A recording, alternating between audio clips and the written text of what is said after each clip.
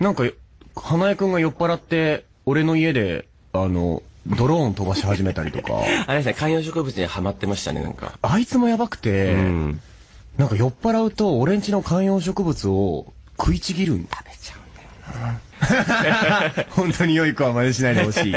あのね、で、でも、こう、なんだ噛みちぎる場所が、多分、いつも同じ場所噛みたいんだろうねあの、前回の同性会場パーティーで噛みちぎった時も、はいはいなんかあの、前に噛みちぎった隣ぐらい、あ、ここの場所がいいんだ、みたいな。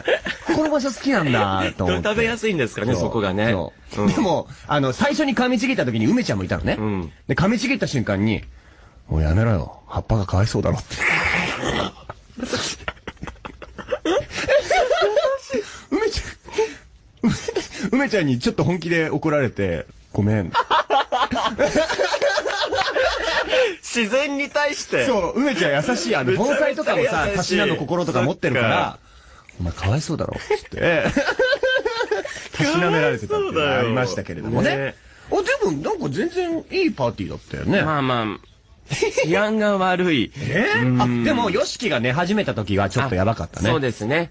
あの、なんか、ヨシキがちょっと眠くなりましたって言って、じゃあ俺のベッドルーム、あベッドで寝てよって言ってうん寝てて、で、俺たちが悪乗りして、じゃあじゃんけんで負けた人は、んあの、ヨシキ、多分、起こされるのすごい多分イラッとするだろうから、起こさないように、ほっぺにチューして帰ってきた。